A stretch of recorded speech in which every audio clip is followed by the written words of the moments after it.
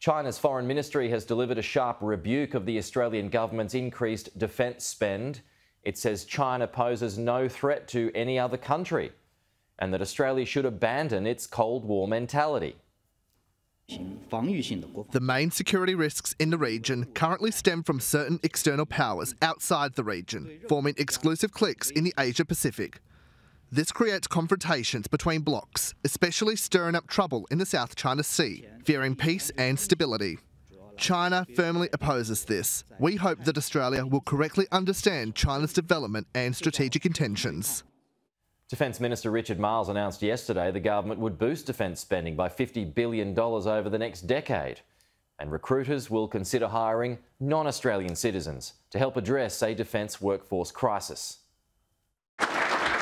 A year in the making, the National Defence Strategy lays out a pathway to prepare the ADF for the most challenging circumstances since World War II. What that must demand of us is urgency and focus. As wars rage abroad, Australia's focus will remain closer to home. A whole of government approach will equip the ADF to defend Australia and our region, deter potential adversaries, protect our economic connections, and contribute to maintaining regional security. We simply have to make the difficult decision to keep the vast bulk of our effort in our region.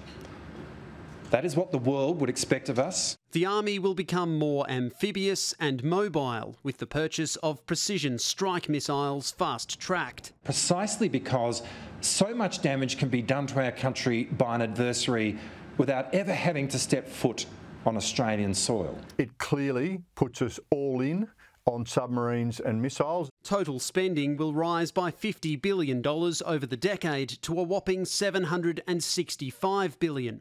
That includes $330 billion on military investment.